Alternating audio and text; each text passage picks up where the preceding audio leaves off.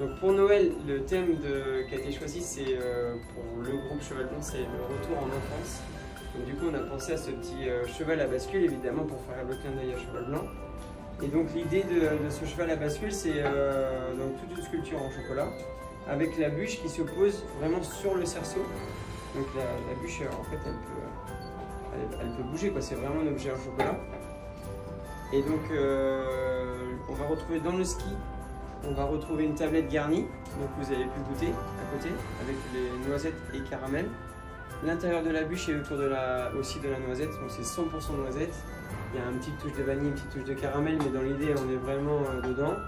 La petite histoire, c'est que les noisettes, elles viennent de notre ferme familiale. Euh, donc on cultive les noisettes, et d'ailleurs la semaine prochaine, je suis en vacances parce que je finis la récolte avec euh, ma famille. Donc là, on est sur deux variétés de noisettes. On a la poétette et la corabelle, qui sont deux variétés totalement différentes, une petite et une très grosse. Donc la poétette a pour particularité d'être euh, une noisette qui se torréfie très bien, donc qui va apporter vraiment cette note euh, gourmande. Et la corabelle, c'est une noisette fraîche, donc qui va apporter tout le côté floral et euh, la douceur en fait, finalement de la noisette. Voilà, et pour finir, tout le montage du cheval est en chocolat.